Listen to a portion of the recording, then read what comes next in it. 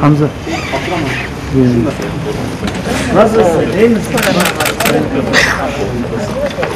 Merhaba. Nasılsın? Hamza? Adı ne? Melek. Sen nasılsın?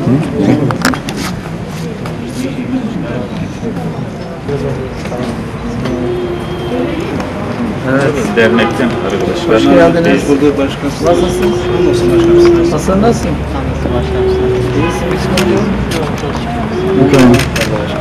Hoş geldiniz, hoş geldiniz. Öncelikle 3 Aralık Dünya Engelliler Günü münasebetiyle tüm engelli kardeşlerimizin Engelliler Günü'nü kutluyorum.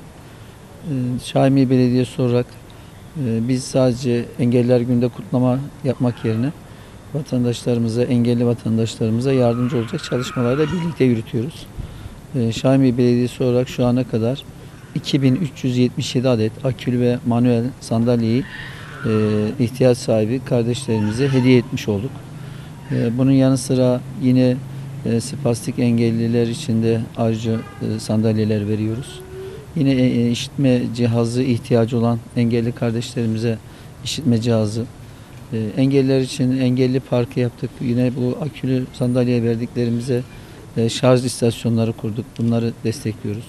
Solunum destek cihazına ihtiyaç duyan e, engelli kardeşlerimize solunum destek cihazı verdik. E, yine görme engelliler için beyaz baston dağıttık. Akıllı klozet dağıttık yine engelliler için. Çölyak hastalarımız için gıda paketi dağıtmaya devam ediyoruz. Yine görme engelli kardeşlerimiz için analog bilgisayar hediyeler yaptık. Yani amacımız engelli kardeşlerimizin e, bu dünyadaki hayatlarını kolaylaştırmak.